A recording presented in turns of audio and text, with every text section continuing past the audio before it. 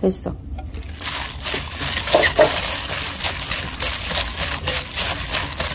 끝. 고추, 쌈장 해서 고기 먹고 싶을 때 이렇게 먹는 것도 최고야. 고기보다 더 맛있는 것 같아.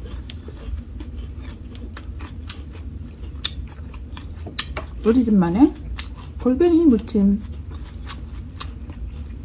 새콤달콤이 아닌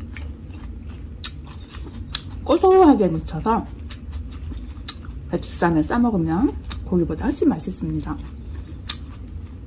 고기가 먹고 싶은데 고기가 없을 때 골뱅이 무침 좋아요.